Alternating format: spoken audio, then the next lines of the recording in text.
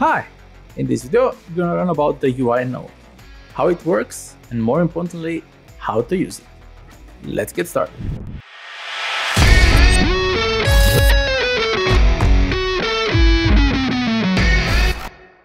The UI node is the core UI navigation node in Nody and, of course, in DoozyUI. It helps you navigate from one view to another via a button click, a game event, or even uh, after a set uh, time delay. Right now, I have uh, three views in uh, this scene, and each view has two buttons. So, view 1 has a button 2 and a button 3, view 2 has a button 1 and a button 3, and view 3 has a button 1 and a button 2. If I press play, this scene will work because I already have a graph that is managed by a graph controller and that allows me to go from one to another. So let's go to one, let's go to two, let's go to three. There you go. How does this work? Well, there is a, uh, where is it? A graph controller that controls this graph. And you can see right now I'm in uh, a UI view named 3. And I can go from one to another. All right. So this is an UI node. Let's create a uh, new graph and I'll create it from scratch so you can see how to use a UI Nody. Let's close this.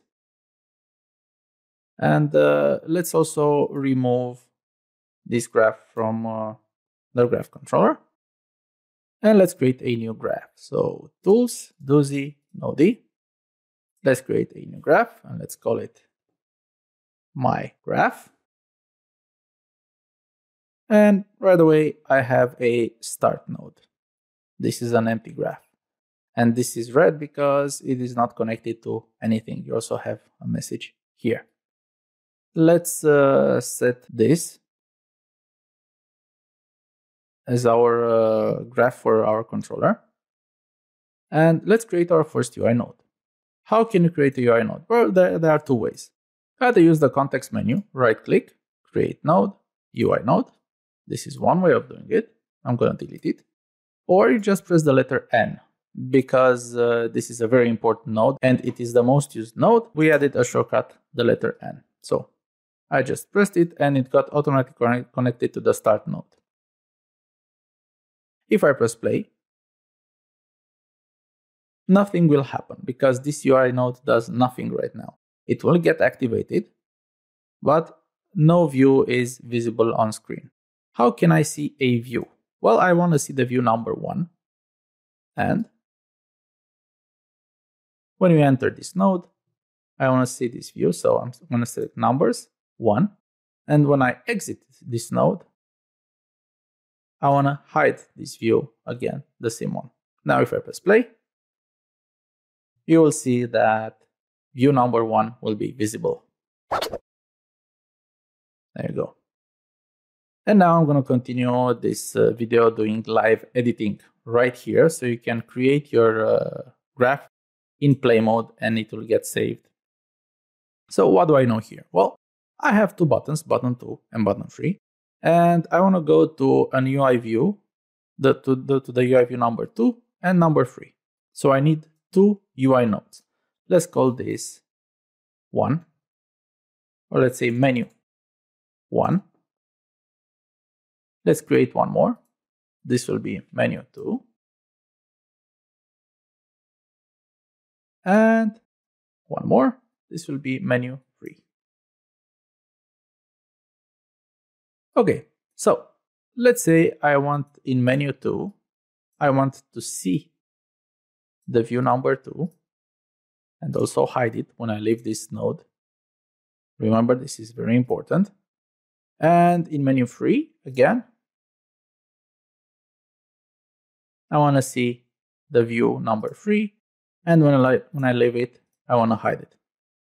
How do we connect them? Well, in view number one, I have two buttons, number two and number three. So I'm gonna look here and I'm gonna say add one more.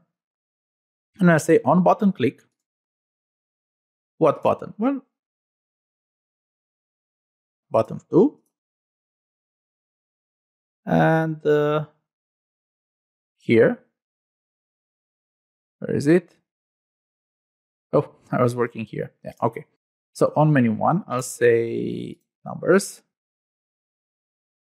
When I click button 2, I want to connect it here. I want to go here.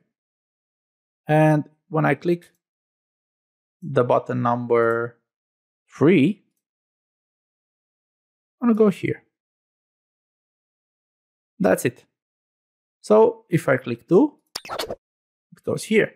Why did it show the view? Well, because we added this show UI view, number 2.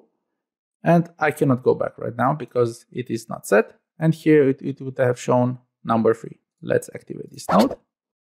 And let's go here, number 3. Again, notice how it changed. Okay, let's uh, continue. Right now I'm in this menu, but this button do nothing. Well, because they're not connected. So let's add one more button.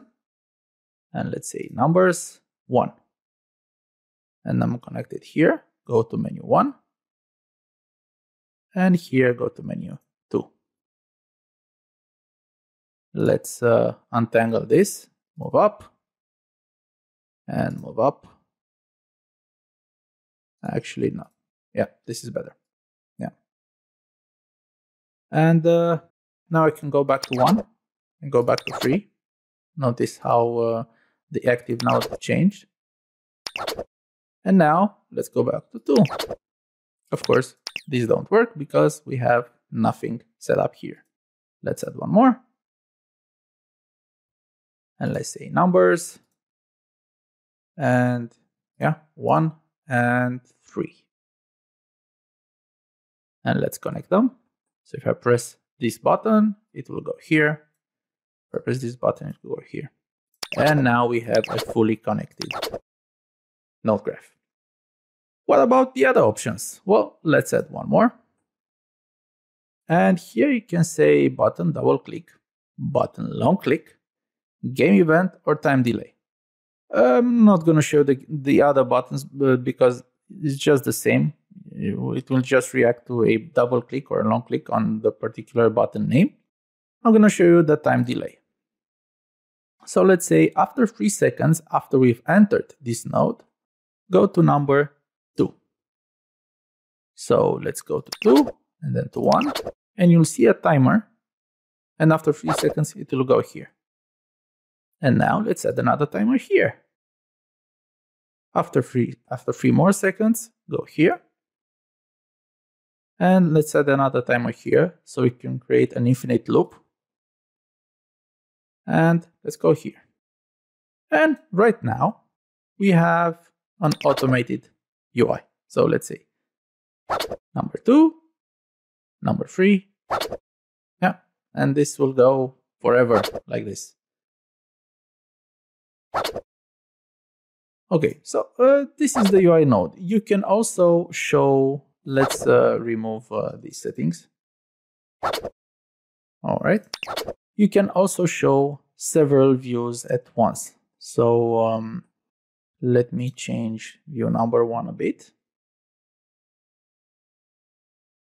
Let's say, uh, and let me change number two a bit. So let's number two and number one. And what can I do is the following. I can show two views with one node. So let's say I want to also see number two and hide it.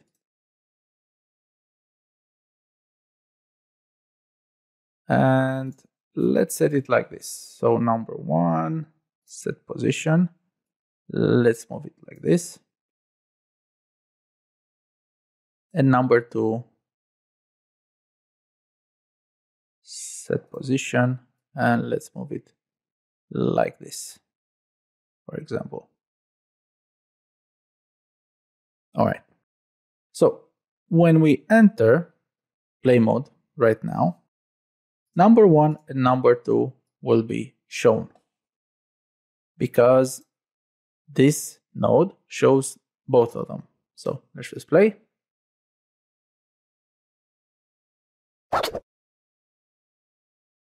Check it out. You see them both. Let's go to 3. Let's go to 2. And let's go to 1. There you go. That's how it works. It's uh, quite easy. You can also go, uh, let's go maximize. I'm going to get this out of the way. So 3.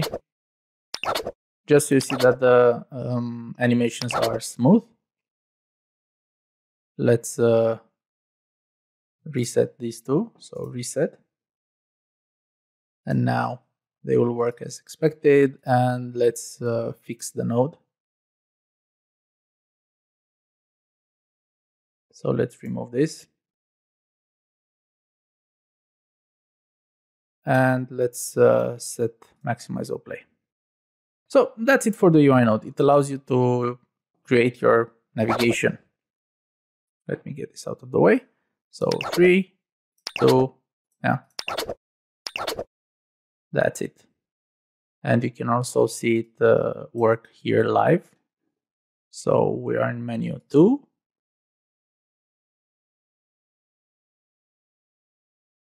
Let's go to one. Note how if I press number two, it will use this uh, particular connection. It will highlight it. Three, you'll see this one. Yeah, two, you'll see this one.